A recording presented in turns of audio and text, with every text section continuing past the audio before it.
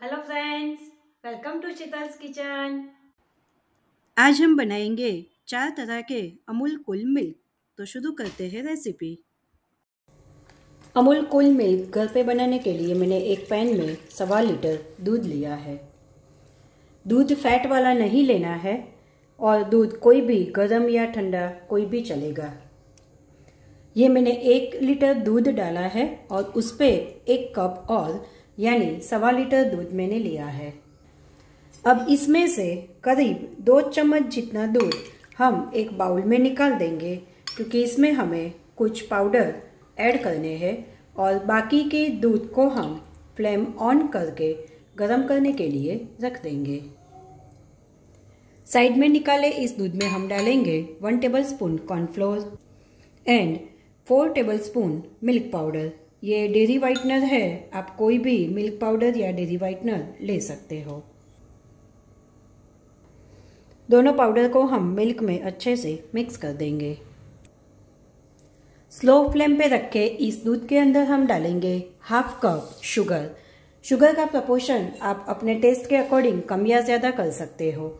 And एक cup पानी, क्योंकि हम सबको पता है कि अमूल कुल दूध थोड़ा पतला आता है। इसीलिए हम इसमें पानी ऐड कर रहे हैं। इसे ऐसे कॉन्स्टेंटली एक या दो मिनट के लिए हिलाएँगे ताकि शुगर नीचे चिपक न जाए। शुगर मेल्ट हो गई है। अब हम थोड़ा थोड़ा करके ये कॉर्नफ्लोर एंड पाउडर मिल्क का जो मिश्रण है, वो हम इसमें डालेंगे और इसे ऐसे कॉन्स्टेंटली हम हिलाएँगे। अब इस मिश्रण को दो या तीन उबालाए तक, तब तक हम कुक करेंगे। ये दूध हमारा उबल रहा है तो ये एकदम परफेक्ट है। आप देख सकते हो, इसमें अच्छे से उबाल आ रहा है। तो अब हम गैस की फ्लेम बंद कर देंगे। इस मिश्रण को हम ऐसे कॉन्स्टेंटली हिलाते हुए रूम टेम्परेचर पर आने देंगे, ताकि इसमें मलाई की परत ना जमे और हमें जो मिश्रण चाहिए वैसा हमें मिल जाए। तो इसे हम रूम टेम्परेचर पर आने देंगे। ये हमारा दूध ठंडा हो गया है। अब हम सब फ्लेवर के मिल्क बनाएँगे। तो पहले हम एक बाउल में करीब सवा कप जितना दूध अलग से ले लेंगे। पहले हम बनाएँगे केसर फ्लेवर का दूध। तो उसके लिए मैंने ये एक बड़ी चुटकी केसर को गर्म दूध में भिगो के रख दिया था।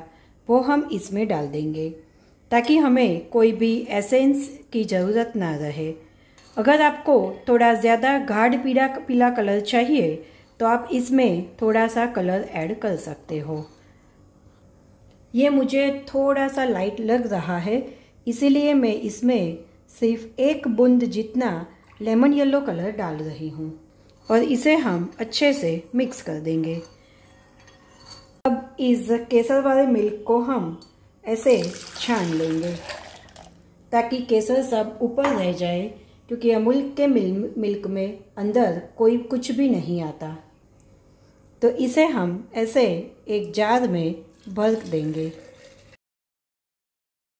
अब हम दूसरी फ्लेवर बनाएँगे तो उसके लिए भी सवा कप जितना मिल्क एक बर्तन में ले लेंगे।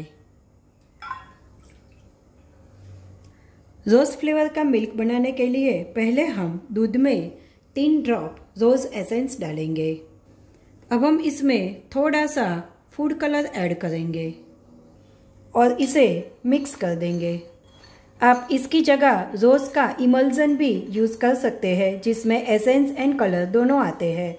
ये दोनों आपके पास नहीं है तो आप इसमें दो चम्मच रुआवजा भी डाल सकते हो। इससे भी इसकी फ्लेवर और टेस्ट बहुत ही अच्छे आते हैं। तो ये हमारा रोज़ फ्लेवर का मिल्क रेडी है। इसे हम छान लेंगे।